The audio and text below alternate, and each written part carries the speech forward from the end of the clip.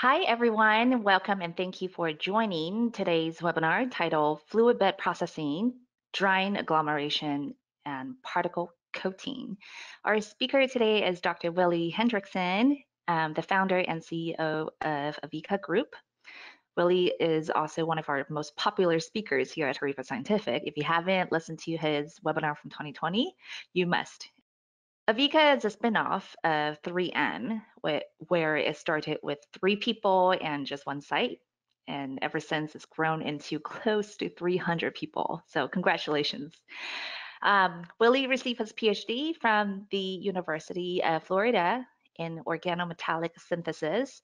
He's currently the president of International Fine Particle Institute, and he has also authored or co-authored more than 20 technical paper, um, books, chapters, and is an inventor of more than 50 issue or applied US patents. So, Willie, I think this is it. I'm going to go ahead and pass the ball to you. Would you please share your screen? There. Well, welcome everybody. Uh, you know, thank you for joining us today. I, I, as Julie said, I've done a few of these HORIBA seminars and webinars, and I absolutely love them. Uh, and in fact, what you'll find is I, I actually love to talk. And to have all of you show up today is a it's a it's a real treat for me. Well, today we're going to talk about, as Julie said, we're going to talk about fluid bed processing, drying, agglomeration, and particle coating. It's a topic near and dear to my heart, and so let's let's get going and see if we can get get this uh, this party going. So the outline, I'm going to give you a you know a, a, just a, a couple minute uh, overview of AVEKA. We're going to talk about particle processing, the big six, some dilemmas, some different methods, uh, because we are doing fluidization, I'm going to we'll talk a little bit about Derek Geldart, and finally, I'm going to get into some examples and uh, you know some opportunities in the future and conclusions. And you know, please uh, you know think of think of good questions. I, I need good questions to to keep this uh, keep this interesting. So let's get going. Uh, as as Julie said, uh, you know, we started in 1994 as a spinoff from 3M. Uh, we're, we're currently five companies with 290 employees, and we are a particle technology company focused on contract manufacturing. You know, we do all kinds of different materials. Uh, we the different sites that we have are specifically for you know food or industrial chemicals or grinding. Uh, just depends on on what we need, and you know we, we're able to handle quite a bit of things. And, you know the the the, uh, the the thing that I'm going to talk about today though is not so much about AVEKA, but you know particle processing and what I call the big six. And these are the if you if you are a person that's handling solids, you're going to be doing probably all six of these sometimes in your career. Uh, you know, characterization, uh, flow, blending, size reduction, drying, agglomeration, particle coating and clearly, clearly, you know, understanding how to how to use these these processes can help you with your your job, your your your formation, your your uh, development of a product, but also you know how you can be efficient in, in production. Today, I'm re really going to focus on the bottom three: drying, agglomeration, and particle coating. And I just want to give you an ex example of some of the, the the breadth of what we're looking at here. So at the bottom of the screen, this is an example of tray drying, and, and some of you might recognize this, but this is shrimp paste that somebody is drying uh, in the in uh, Southeast Asia. So they they make the shrimp paste, which is in one sense you can call that a particle process, and then they put it on these trays and dry it. Um, you know, it, it, really quite an interesting process. Up in the upper right hand, upper left hand corner is uh, an example of agglomeration. Some of the things that we're going to talk about today, and this particular uh, particle that we're looking at is something that has been agglomerated for probably 500 years. And this is an example of gunpowder as an agglomerated powder. I think some of you know that if you don't agglomerate gunpowder, uh, you don't get a good uh, bang for your buck, so to speak. And so, uh, you know, agglomeration has always been an important process in, in, in, that, in that regard. And finally, in the upper right-hand corner is a, is a great example of a coated particle. And you can see that this is a multi-layered particle probably produced by Wurster coating, something that we're going to talk today.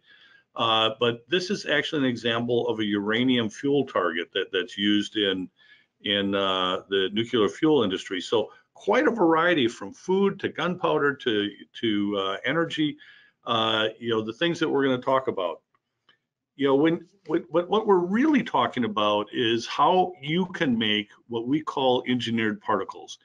And you know, when when we're doing this this drying, grinding, uh, coating, uh, agglomeration, what we're trying to do is we're trying to control that size. We're trying to you know modify that functional property. We're we're looking at controlled release.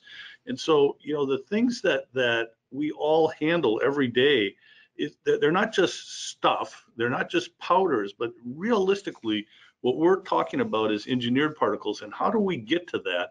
And how can, in this particular talk, how can we use fluid bed processing to get us there? So before I really talk about that, I, I, just want everybody to think about, you know, the dilemmas that they have when they're processing. And you know, eh, when, when you're faced with a new project and you want to get going in it, one of the things that you're faced with is what equipment do you have available? So, you know, if a if a hammer mill is the product process that you really need to use, but you don't have a hammer mill, it really doesn't help you to spend a lot of time worrying about hammer mills. But if you have a jaw crusher, you know, maybe you have to figure out how to get that to work. That available equipment, we're going to talk about that a couple times through, throughout this talk. The other issue, the other dilemma that I face is that, you know, what might be really good on a lab scale, you can see this distillation column that we've that we set up at the top in the lab versus what's actual uh, reality and, and full scale production, that volume scalability dilemma. Don't get yourself into a process that you can't scale it up because it's a, it's a disaster to happen. For us people that handle powders, uh, uh we, we can either call ourselves uh, uh, uh, solids engineers or we can call ourselves powder heads or we can call ourselves particle technologists one of the biggest issues that we face is this is this dilemma of my powder just doesn't flow right. It sticks in the tubes, it doesn't flow out of the bag, it's hard to fill into a tablet making system. Understanding that and being prepared to deal with that in all of these processes that we're doing and, and some of the, the processes that we're going to talk about today in fluid bed are incredibly important. And finally, you, you've made this wonderful particle, but it doesn't function the way you want. Well, that's a dilemma, isn't it? It makes for a real hard time. So I, we've got all of these things to deal with. We've got to pick the right equipment. We've got to pick the right materials. We got to pick the right processes. And then we have to deal with these dilemmas because we are going to be faced with them every single time. So let's talk about let's talk about some of the drying technologies that we have and, and why would you pick one drying technology over another? And what I have an example here is this is not an inclusive uh, uh, list of all the drying technologies, but these are some of the ones that people use in powder processing all the time. I love the picture in the middle of the of the people scraping up salt from from tray drying, if that's what we want to call it. Uh, uh, this is a this is a picture from Southeast Asia. I was actually in Thailand last year when you could still travel around, and there were miles and miles and miles of these salt pans where people dried salt and it looked exactly like this. This is a this is one of the drying processes that have been used forever. Uh, a little bit more modern is the the picture right above it of the of the the tray drying oven. Uh, you know, so you know it, we we've gotten a little bit better of it, and you know remember the the shrimp drying trays that that we that we had. But some of the other pictures on here are pictures of fluid beds up in the upper right corner. The, the, the other two pictures on the right are pictures of spray dryers, you know, double drum dryers down at the bottom, a turbulizer for, for uh, high shear drying. And in the, in the middle of the page is a large piece of equipment called a ring dryer. If you had all these pieces of equipment available to you, you, you, you, can, you can eliminate the, the process equipment dilemma, what you have available. But the reality is, is we usually don't have those, so we we're going to have to pick and choose. And realistically, when you look at these dryers, some dryers are better off for drying solutions or slurries, the spray dryers, the the, the roll dryers, and some processes are better off drying pastes and and uh, you know wet solids like the turbulizers, the the ring dryers, or the fluid bed dryers you know what you have to start with and where you're going to and how big equipment piece that, that you have available makes a huge difference on picking picking the dryer. For agglomeration, uh, you know, once again, we have a we have a, a fluid bed picture here. That fluid bed agglomeration is a great process for agglomeration, but there's other thing other things that can be used. High shear agglomeration using a Bella mixer, which is in the lower right corner, or a, a, a turbulizer, which is up at the up at the top uh, right side, and then finally extrusion agglomeration. And once again, Why would you pick one process over the other? But I, will I'll give you I'll give you an example. If I was going to agglomerate uh, powders for laundry detergent, I probably wouldn't pick a fluid bed uh, uh, system because it's a typically, at least in this picture that I have here, it's a batch process and it's not as efficient as high shear agglomeration, the Bella mixer. So, you know, you, you, might have a, there's just a volume issue that you're going to be pushed to one process or another. But, uh, you know, fluid beds are, are clearly used a lot for, for agglomeration. And finally, the last the last technology that that that we're going to be talking about today is once again there's a fluid bed front and center in the system for doing particle coating. But boy, there's lots of other techniques. I, I show at the bottom left-hand corner just a, a simple ribbon blender. And if you can use a ribbon blender or a V blender, these are inexpensive, easy to use, not necessarily good for every powder. And up in the upper right-hand corner, there's a, a process, a tablet coating that's being shown there that's probably very good for large particles, where a fluid bed, for instance, might be better for smaller particles. And if you really want to get to the smallest particles, there's a, a schematic I have shown here. This is a, a, system called MACE, Magnetically Assisted Impact Coating. This is the process that we do here at AVEKA that, that's really good for those small particles, even down to nanoparticles. So with all of these, all of these things, you know, you you've got a project that you're going to do. You you know what process that you're going to use, uh, or you or you you know that there's a process that you're going to use why would I do a fluid bed? What makes the fluid bed so versatile? And, and the, the answer is on this slide. Fluid beds can do many different things. Uh, an example, if you want to dry, you don't have a spray bar in there. If you want to agglomerate or coat, you can maybe do uh, spraying from the top of the system. If you want to do really good coating, and the Wurster coating system is shown at the bottom, you can do the spray drying from the bottom. And some people have even even changed this a little bit and actually do what's called tangential spray for coating. The, the, the, the, the interesting thing about this, at least with the spraying, we're either agglomerating or we're coating, but the processes really are similar. And I, I've shown some of the kind of the mechanistic steps that occur in agglomeration in the middle where you're putting some water in, you form some liquid bridges, you dry these bridges to form solid bridges, and finally, if you can get to that blackberry structure, that's a great agglomerated particle because it has that porosity that allows water to wick in, in quickly for it. However, you're using exactly the same piece of equipment and sometimes even the same spray dynamics, and you can also get particle coating. And one of the challenges that we have with spray drying is going from, if I want agglomeration, I really don't want to have single particle coating. And if I want single particle coating, I really don't want it to be agglomerated. And controlling those process parameters and understanding how to do that is really one of the tough, tough things uh, to, to, figure out when you're doing a process development for uh, uh, using a fluid bed. But because it is a fluid bed, we do need to we do need to take a step back and talk just a little bit about particles and which particles are useful in a fluid bed and which aren't.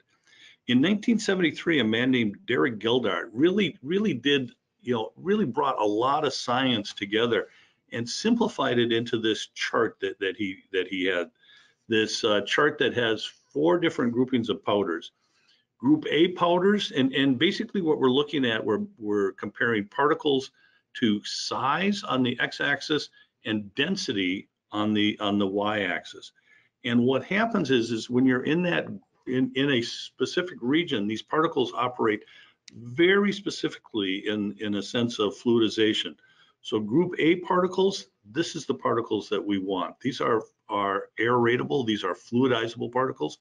And typically, if you have to kind of give a, a statement, you want your, your, your type A particles, your group, group A particles to be within that 50 to maybe a couple hundred microns. That's a great range to do fluid bed coating. If the particles get bigger or they get a little denser, they become sand-like. And you can still fluidize those particles, but the energy that you have to take for those particles starts to get greater than the energy that you can get out of the, the fluid air that's coming through. And so, you know, boy, that, that's a, you can do type B particles in a fluid bed, but typically that you, you start to get into a, a nebulous region. Type D particles, group D particles, are spoutable. These are big particles. You can push air through them, but you really tough to, to fluidize them. But the ones that, that give us the biggest challenge are type C particles, these cohesive particles. So they're smaller, they're lighter, typically lighter in weight, and they have a tendency to stick together. Those are a challenge because many times those are the particles that you want. So, you know, as, if we, as we've gone through this issue about you know, do we have the equipment? Do we have the right, the, do we have the right size equipment? Do we have the, the, the drying, the coating, the, the whatever? We now get into this spot that we might have everything that we need, but the particle is in a wrong region.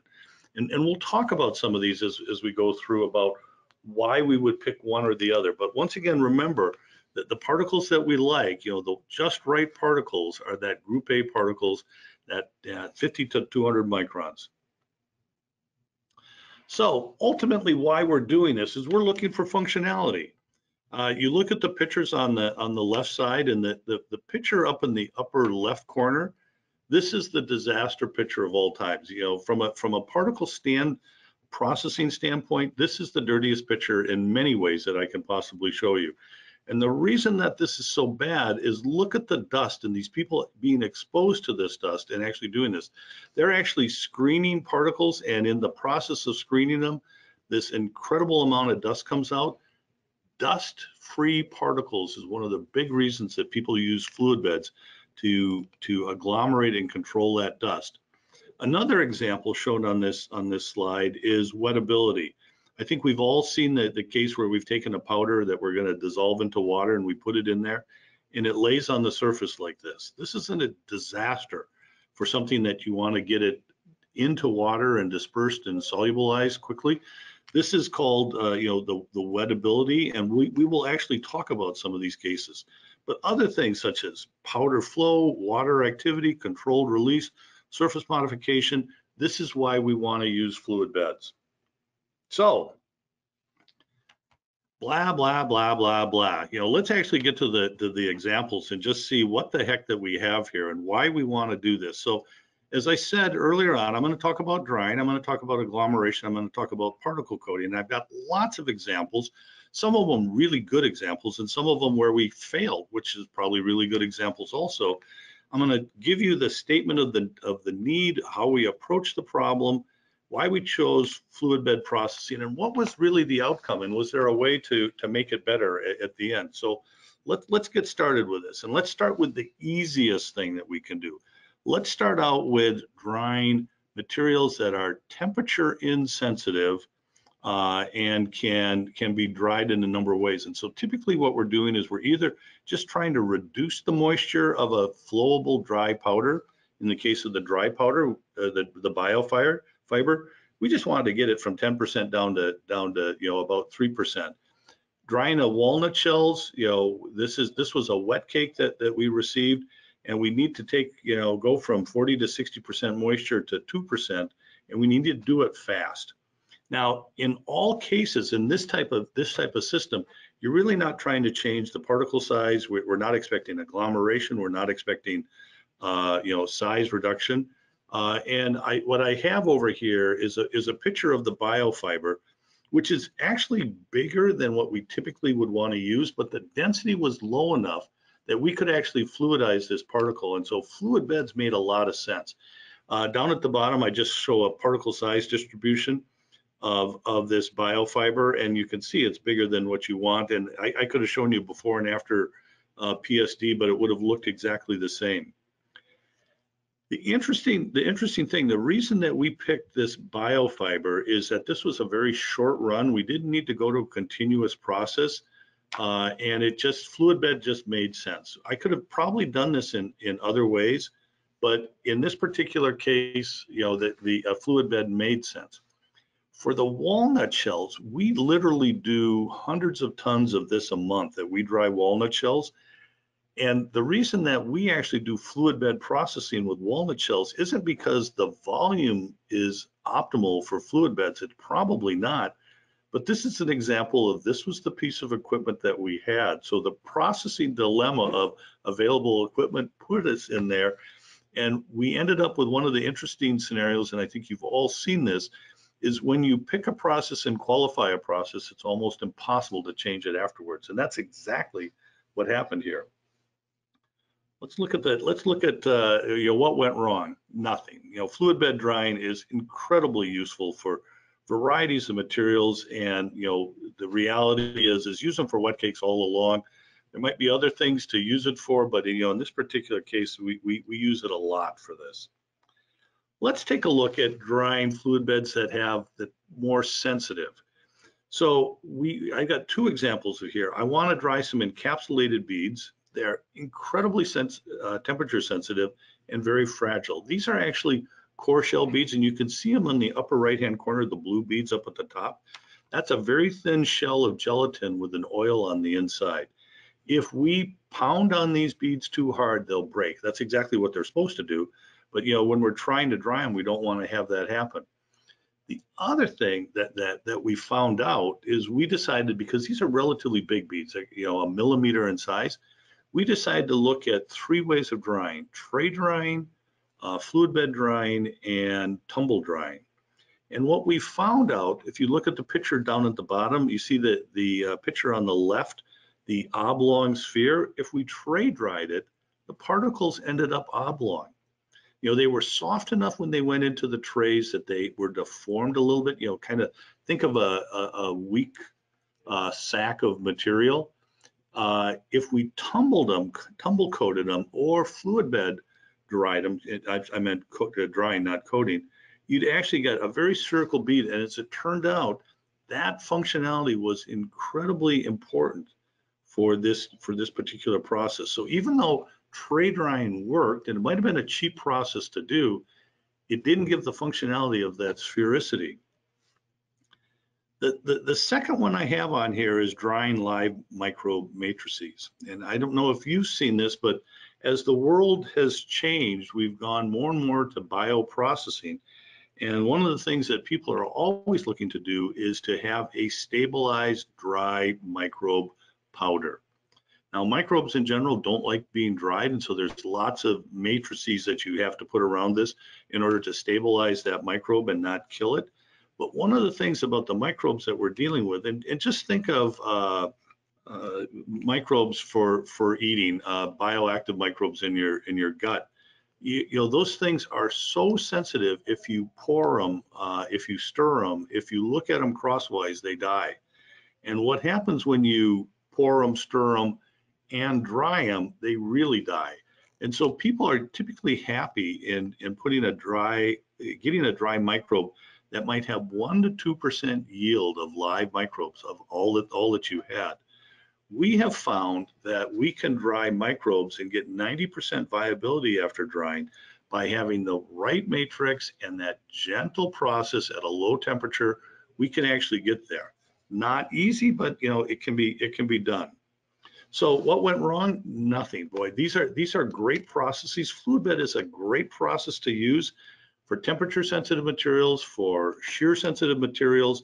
And, and in this particular, this one particular case with the beads, we actually had shape preservation.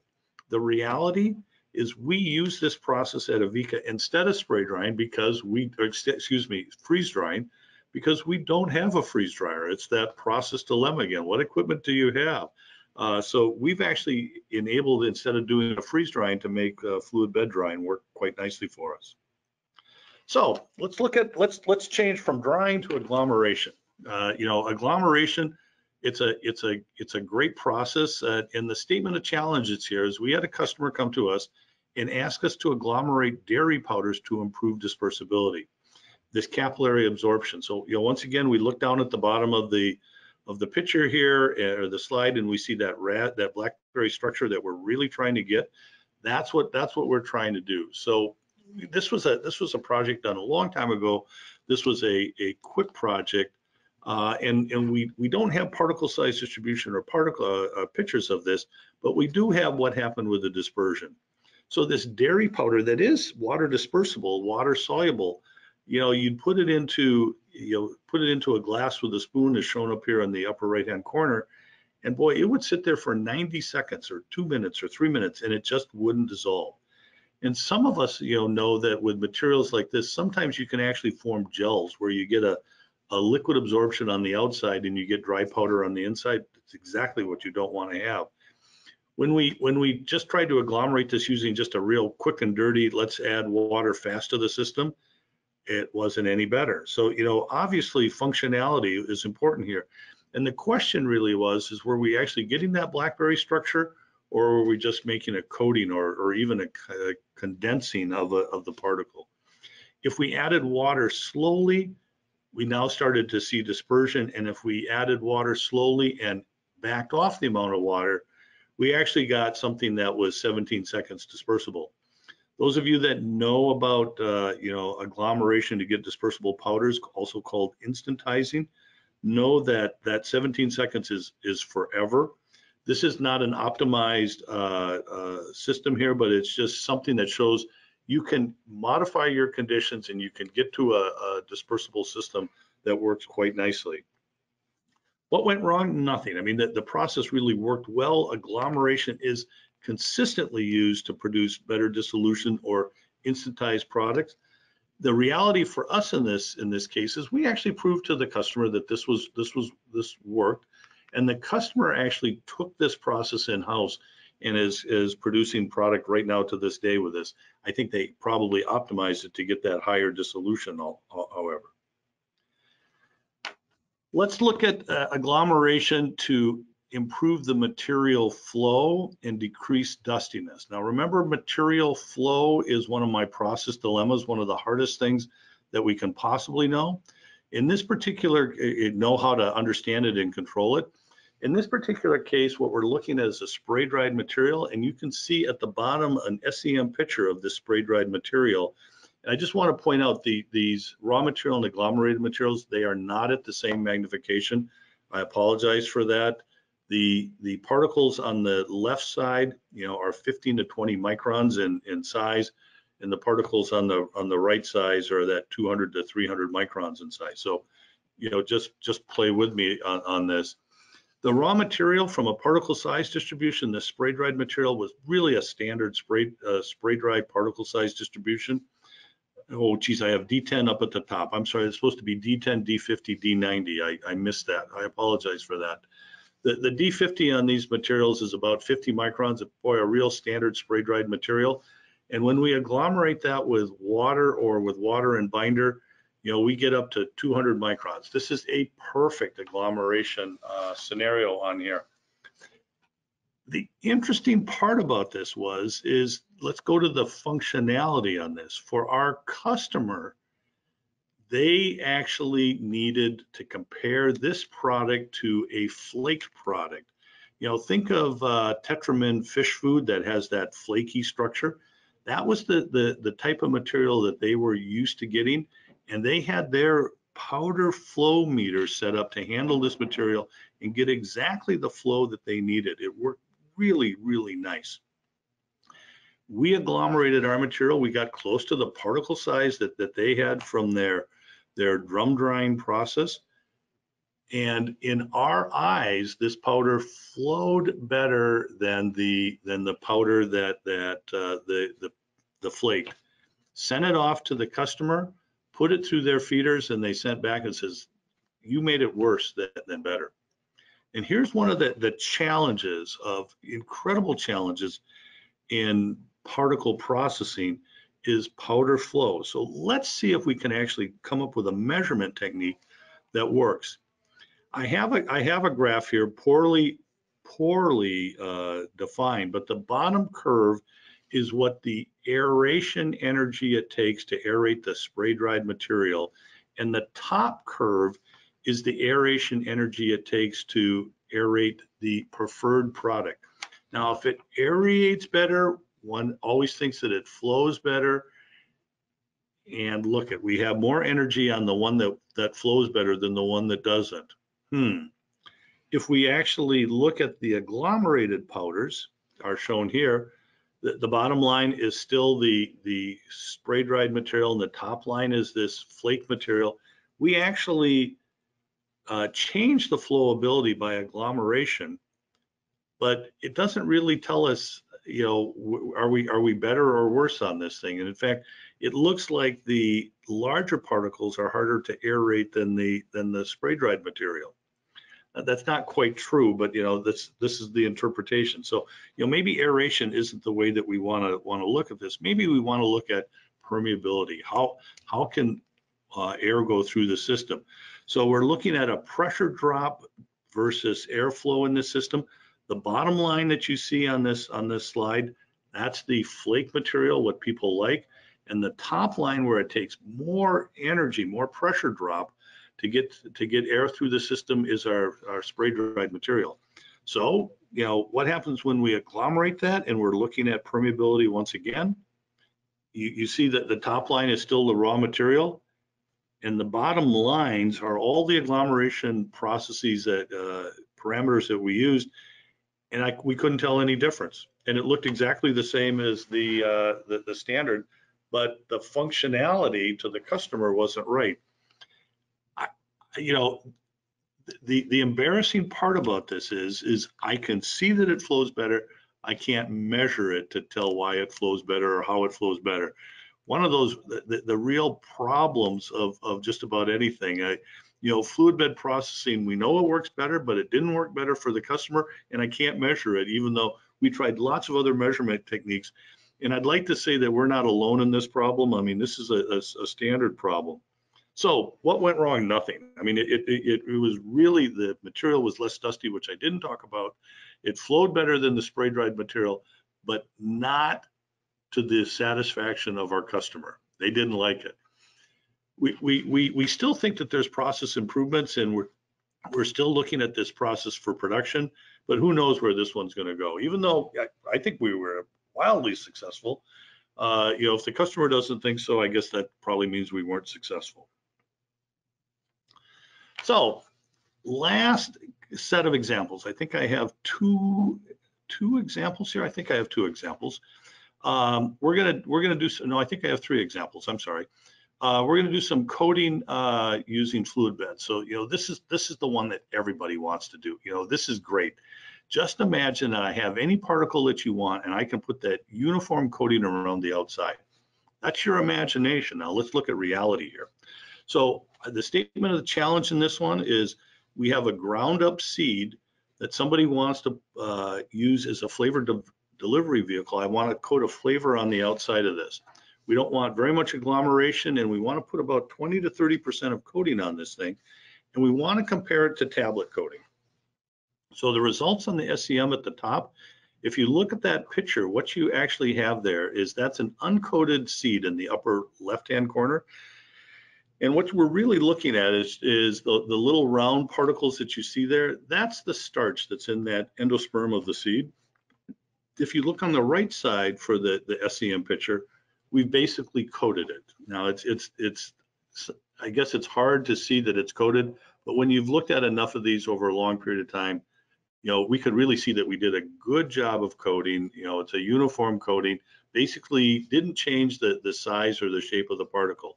That's what we're always looking for coating. If we look down at the bottom, and, and once again, I apologize for this this this picture here, we basically have two uh, materials that have been fluid bed coated. One is the red line and the other is the blue line, if you can pick those out. The other three that are in there are tablet coating and the red and the blue are pretty close and they they basically show that the particle size hasn't changed that much.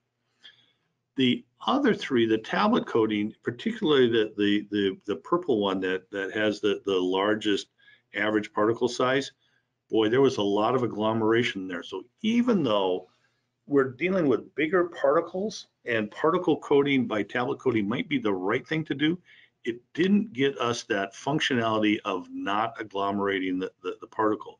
So tablet coating could work, but fluid bed coating in this particular case was better.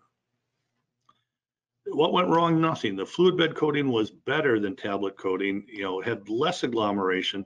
And the reality is this process is actually in production. You know, it's been, been a really good process uh, for us to develop. Uh, we, we do a number of different sizes and shapes and it, uh, you know, we can put lots of coatings on. So I switch gears here just a little bit. Uh, we had a customer asked us if we could make a color changing particle. And the way we make the core on this particle is a process called prilling, where we're actually going to melt a fat, atomize it, break it up, and then cool it down. And we can make particles anywhere from 10 microns to 2000 microns. We can put all kinds of things in them. In this particular case, we only put in colors and we can make a lot of these. And so on the right-hand side, you can see a, a picture of some of these colored particles, these beads, you can see them. And if we look on this next slide, you can actually see these beads, these red beads that we made that are realistically fairly spherical. So the, the statement of challenge that we want to do is we want to make some colored prills, make them out of fat, put a water soluble dye in there, and then coat them with titania to, to cover this up. And then when we put them into a bakery product, when we melt it, it'll go from white to red. So we have a color change. I mean, this is this is what we're what, what we're looking at. And if you look at the the top picture, those red particles, and you look at the bottom picture where they're nicely coated, boy, I mean, we, we actually did what we actually we said that we said we're going to do. But if you look closely at that picture at the bottom, you see a couple things. And, and there's a, this is one of the real take homes of particle coating. You can see there's a couple broken particles in there and you can see a little bit of red on them. And if you look closely at the white particles, you even see some little red spots on the outside. One of the challenges of, of coating materials is how perfect is it going to be and do you break any before you actually want to? In this case, it's pretty good, but there's a few broken ones and there's a few looks like you know leak throughs the, the, the system. So here's the result that happened. They actually took these particles and they put them in dough. So this was a food grade product with the idea of uh, having a, a dough that was colorless and then when you bake it, it changes color. Uh, I, I know this, this, I should have maybe had a darker background on this thing, but even on the dough particles themselves, there's a little pink in the center. But you know, when you bake them, it, it actually released the color just like we wanted to. So we, we got the effect that we were looking at.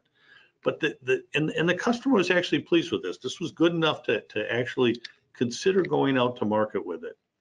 But you know, from my stand from my standpoint, it bothered me that we had just even a little bit of pink up at the top. And and why was that? And and I, will give you a you know a, a one minute uh, micro encapsulation 101. The reality is is when we're looking at trying to coat a water soluble material, is we always have two issues that we have to think about. How perfect is that shell, and what sort of diffusivity through that shell wall will we actually have happen? And I can guarantee you that it's almost impossible to have a perfect shell, but you can get there. But I can also guarantee you that you will always have water diffusing into your capsule, your coated particle, and eventually you'll reach an osmotic pressure situation where the particles will crack. So it's very difficult when you have a water soluble material to really encapsulate this right. And I think that's exactly what we what we saw here because of, you know, is the shell perfect? And we're always going to have water diffusing into the system. What went wrong? The, the, the dye leaked through the dough and the solution, you know, sometimes there is no solution and maybe switch to a water insoluble dye and add another layer. So one more example. This is the one that everybody wants to do. They want to do controlled release. Uh, we had a customer asked us to do uh, coat creatine, a nicely water soluble uh, uh, amino acid uh, with uh, shellac for stomach bypass. Shellac is an enteric coating that, that is insoluble at low pH, but soluble at high pH. And you can see we did a fluidized bed coating. We put 30% weight of shellac on this on this system. And you know, when you look at these images, you can tell that we we did we had good coating. And so we're thinking that we're in great shape on this we looked at the creatine release here and a couple things are, are going on here. The bottom is the is the time of exposure to water and the x-axis, the y-axis is the percent creatine released. What you see to start with uh, when we're at low pH for the first two hours, we're already having quite a bit of uh, leak out of these capsules that we have. You do see appropriately at each time when we switched from uh, low pH to neutral pH that there was an uptick in creatine release, uh, but not as much as I would I would like, and there was still kind of a, a slower creatine release. This is not a viable product. We did not do a good job on this one. This was done many, many years ago when we were starting out on this. And what went wrong? We, we believe the coating process was really, really good, but the drying was flawed. And if you look at the reality picture over there, this is an SEM picture that we have, you can see the cracks in the coating. This is not good. If you have a crack coating, you're probably not going to have a good controlled release product, and that's exactly what happened. At, at this point, the, the project ended for us, and but there are ways to actually make it so you minimize the cracks, but you know we didn't have the time to actually get to that stage. So, what did I leave out on this talk? A lot. Uh, you know, what are the major uses of fluid beds? You know, I didn't talk about pharmaceutical agglomeration. There's a lot of pharmaceutical agglomeration. It, it makes it easier to, to fill uh, capsules. It makes it easier to make tablets. Food agglomeration for dis dispersibility, you know, I, I talked about it, but you know, I need to emphasize how important food agglomeration for dispersibility and dedusting. And this controlled release, I mean, this is one of the big issues that, that uh, big applications for fluid bed coated particles. I also left out, you know, the, the comparison between batch and continuous fluid beds. You know, I apologize for that. I mean, fluid beds will do be fluid beds. Uh, and I focused on batch because that's what I have, you know, that process dilemma again. And I didn't talk about, you know, combining fluid bed drying and uh, fluid bed processes to get better drying for cooling for agglomeration all in one step. You know, I apologize for that. That that wasn't the the scope of the the talk. I wish I could talk about that, but didn't. And I want to leave you with some thoughts. I want to leave you with some resources. Earlier, Julie in, in her introduction mentioned that I'm the uh, president of IFPRI. I, I, will be sending you some information about IFPRI. It's an organization that, that you should belong to. These are some of the greatest people in the world. And two people that have been associated with IFPRI for years, Jim Litster and Karen Hapgood. These are, these are resources that you could call on. Please mention my name if you do uh, email them. These are some of the world's leading experts in, in fluid bed processing. Please call me if you have, have questions, but uh, you know, Jim and Karen are, are the best of the best. Also, obviously, resources, you know, the people that make equipment, Glatts, Vectors, GEAs, they have a lot of, lot of knowledge and are very good. I'll leave you with this idea for the, for the future. You know, we talked about from the Derek Geldart uh, particle classification that it's hard to fluidize nanoparticles. In fact, it's typically impossible. But one person, Bob Pfeffer, who's now professor emeritus at uh, Arizona State, uh, used three different methods and patented these methods for fluidizing nanoparticles, uh, oscillating magnetic fields, microjets, and rotating fluid beds. Please read those patents. They're incredibly good, incredibly insightful, and lots to lots to make you make you think about new ways of doing things. So in conclusion, then, uh, you know, I think fluid bed processing incredibly versatile for drying, agglomeration, and coating. I hope I gave you some some good ideas in, in this area. I, I, I talked a little bit about process conditions and, and materials being critical, and it's incredibly in, critical. And, and finally, it's almost impossible to analyze too much, particularly in that powder flow. And with that, Julie, I'll, I'll, I'll stop and, you know, thank you very much for everybody for listening. Well, thank you so much. Um, I have to agree with one of the comments that came in. I thank you for thank you for this excellent talk. Um, she said it was excellent and a very charismatic presentation, and I definitely agree. Um, to answer other questions, um, this webinar is recorded and a link will be automatically sent to you two hours after the webinar. So you can also visit our website um, for this, this webinar, as well as the recording of AVEKA's past webinar um, titled Mastering the Processing Method of Engineering Particles.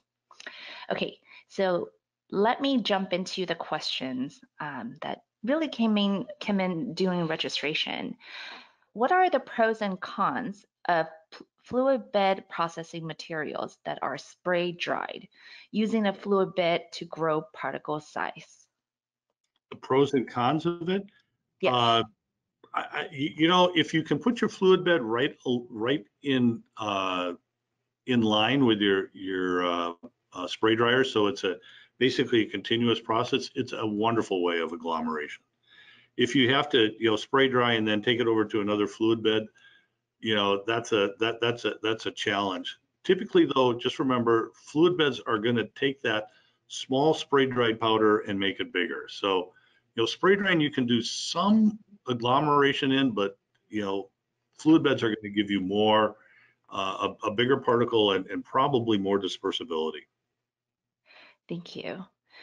What are the key parameters and limitations of fluid bed drying? The key parameters, hmm, you know, eh, eh, you know, can you can you can you start moving that that uh, wet cake that you might have in there to start with, and and that's always the challenge, you know, you know, you know, trying to push air through a wet cake can be a be a, a challenge. So, you know, how much air pressure you have, what temperature you have, you know, how long you how long you can you can do it. I, I think those are the process parameters. The advantages are, you know, it's it's a it's a it can be a nice batch process to get you that good final product. Thank you. Now the next question is, if you have a two by three millimeter pellet, would you expect more agglomerated particles using a tablet coater versus a fluid bed? You know, we use both of them. Uh, I probably wouldn't do a two by three uh, uh, fluid bed coating process. I, I, we can we can we've done it. I would probably go first to the tablet coater to see if I could make that work. Um, would I expect more agglomeration in one process than the other? I, you know, I think it's how well you've controlled your atomization parameters. If you if you have big droplets, you're just you're going to get agglomeration in both systems. Um, maybe just maybe no, I, I, I you know, I, I think it's all about your atomization.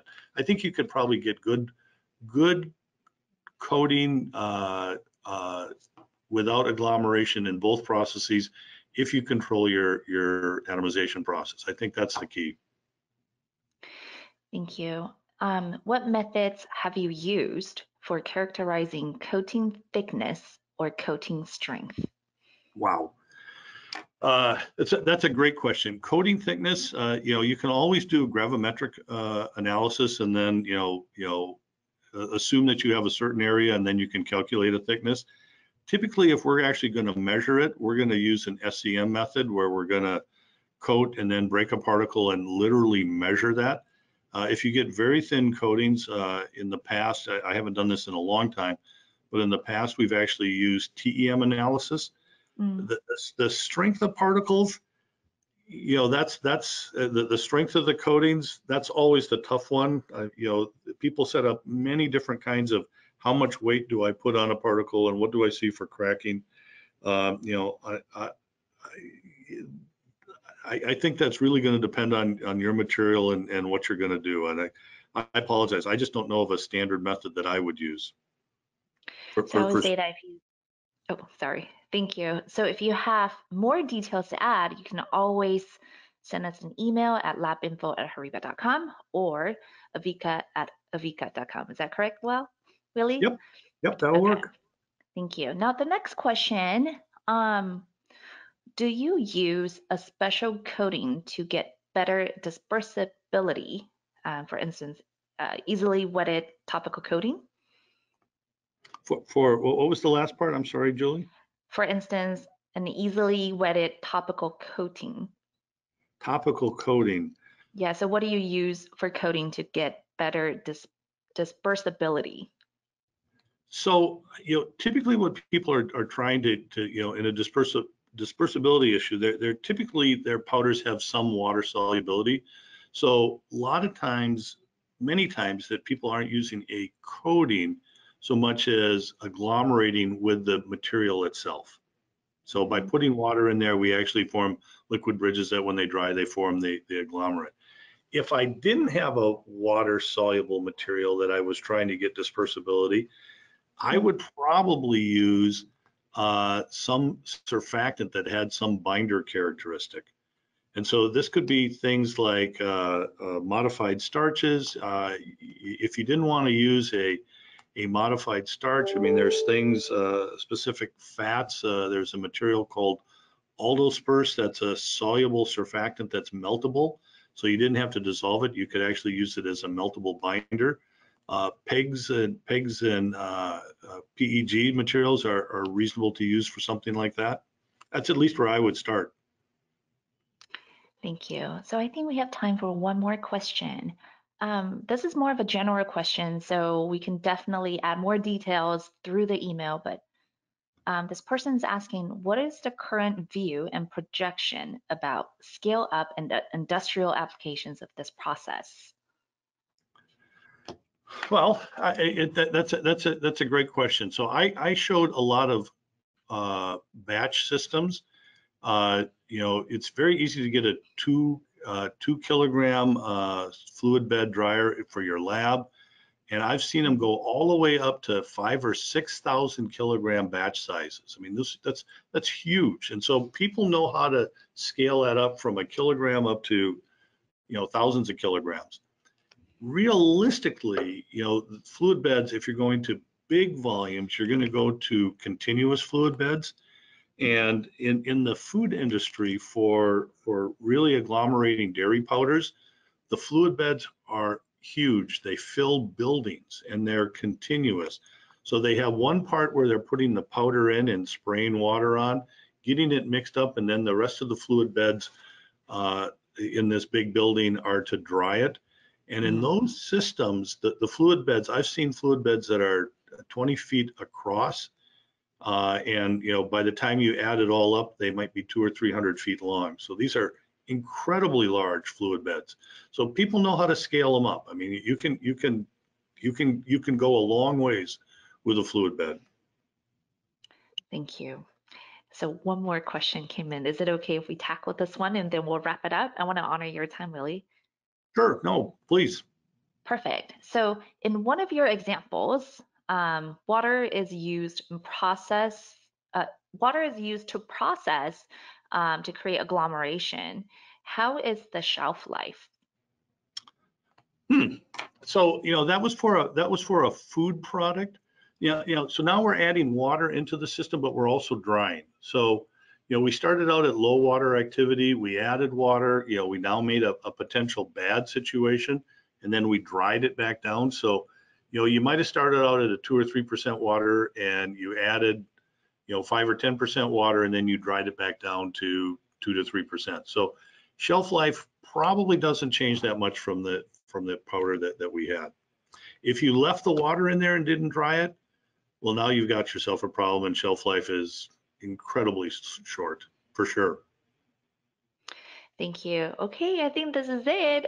Thank you so much for your amazing talk today, Willie. Um, we will try to do another webinar specifically um, on topics revolving um, IFPRI. If you're active on LinkedIn, you can look us up by typing in AVEKA group or particle characterization group. Alrighty. Thank you so much, Willie. Bye now.